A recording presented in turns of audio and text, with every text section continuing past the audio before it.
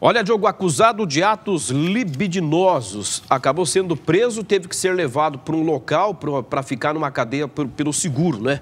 Policiais militares conduziram à delegacia central Otávio Augusto de França, 33 anos, acusado de ter passado a mão atos libidinosos contra uma menina de 10 anos nesse estabelecimento comercial. Toda a ação foi filmada pelo circuito interno e externo do estabelecimento, onde a criança estava com a mãe. Olha a mão dele lá onde é. está agora, ó. ó.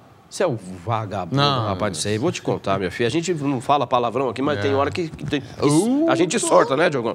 Pelo amor de Deus. Ó. Olha lá, olha lá. Exatamente. Olha lá. Olha ação. Eu quero que você tire a sua conclusão em casa. É. E não é a primeira vez, viu, gente? Ah, não, Evandro? Não, não é a primeira vez que esse cara é preso pelo mesmo crime. Os presos do City, quando eu estava lá, Diogão, mas ficaram loucos. Queriam derrubar lá o, o centro de triagem e pedindo para que ele entrasse para que ele fosse colocado ali na cela. Junto com a galera. Junto com a galera. Junto com a turma do Balaco Baco. Isso, para conhecer o, o, o, o Zezão Pé de Mesa.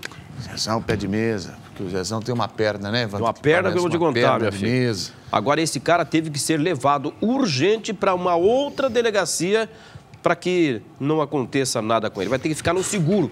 Os policiais têm que cuidar desse cara aí agora. Senão os caras matam ele. É. Matam ele. Matam ele.